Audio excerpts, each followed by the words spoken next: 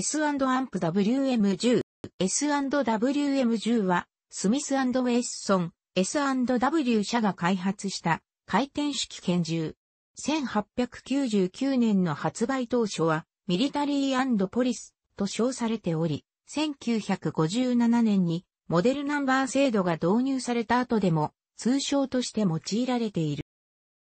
本銃は S&W 社の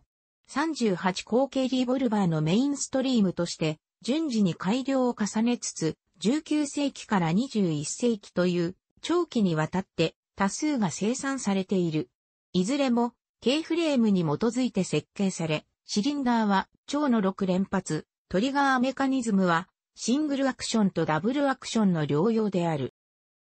1899年から1902年まで生産されていた最初期モデル。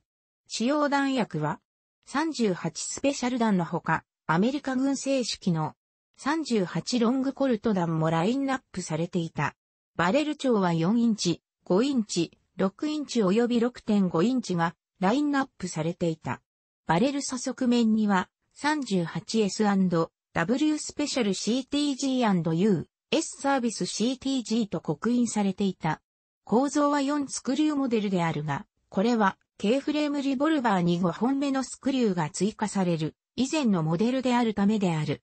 表面処理はブルーフィニッシュ、またはニッケルフィニッシュであった。1902年から1904年まで生産されていた第2期モデル。使用弾薬は38スペシャル弾とされた。バレル底部にロッキングラグが追加されたほか、エキストラクターロッドが大径化されている。バレル長及びバレルの刻印、スクリュータイプは1899年式と同様である。のスムーストリガーのチェック入りハンマーが採用されていた。1903年に小改正が行われており、改正以前に12,827兆、以降に28,645兆が生産された。1905年から1942年まで生産されていた第3期モデル。用心鉄のスクリューが追加されたことで5スクリュータイプとなった。バレル長は1899年式、1902年式と同様である。細部に応じて4種類のサブタイプがあり、1915年以降の生産型ではスムーストリガーの他にセレーション入りトリガーも生産された。またハンマーはのチェック入りのものが用いられている。各型合計で926,747丁が生産された。1942年から1945年まで生産されていた戦時量産モデル。銃身長は4インチ、グリップはスクエアバット型で底面にランヤードリングが付されている。表面処理は、艶消しされたブルーフィニッシュ、またはブラックマジック、パーカライジングに似た処理であった。戦中に甲板上への落下に起因する暴発事故が発生し、水兵1名が死亡したことから、アメリカ海軍の要請により、ハンマーブロック機構の強化改良が行われた。1944年9月にスライドアクションハンマーブロックが開発され、これは本銃を含めて現在に至るまでに生産された同社のリボルバーのすべてに採用されている。また、開発以前の生産型も約4万丁が工場に構想されて同機構を組み込む回収を受けた。回収済みのモデルはシリアルナンバー側のグリップに S、反対側に S の文字が刻印されている。第二次世界大戦に伴い、計24万2291丁が生産された。1946年から生産された戦後モデル。1957年には M10 というモデルナンバーが付与されており、それ以前の生産型はプレーム10と通称される。重身長は従来と同様の4インチ、5インチ、6インチがラインナップされたほか、6.5インチが外された代わりに2インチのが追加された。3インチ超も受注生産とされており、1980年代、ないし1990年代には公式カタログにもラインナップされるようになった。また2.5インチ超もやはり受注生産とされていた。当初はハンマーはのチェック入り、トリガーものセレーション入りのものであった。後期生産型では、のサービスハンマーのスムースなコンバットトリガーが採用された。また1948年には撃発機構が改良され、これは現在に至るまで踏襲されている。M14 は M10 をベースに開発された射撃競技用拳銃で交換可能な角形小生、パトリッチサイトを取り付けた6インチのブルバレルと可動消門 S&W アジャスタブルマイクロクリックサイトを装備している。この M14 を単純進化したものが M15 ステンレスモデルは M67 であり、いずれも38スペシャル弾を使用する。その他にフルレングスのエジェクターロッドカバーが付いた6インチ重心を持つ M68 があるが、これは CHP カリフォルニアハイウェイパトロール用として生産された拳銃である。M17 は上記の M14 を22口径にした拳銃である。この M17 を単純進化したものが M18 であり、どちらも使用弾薬は 22LR 弾である。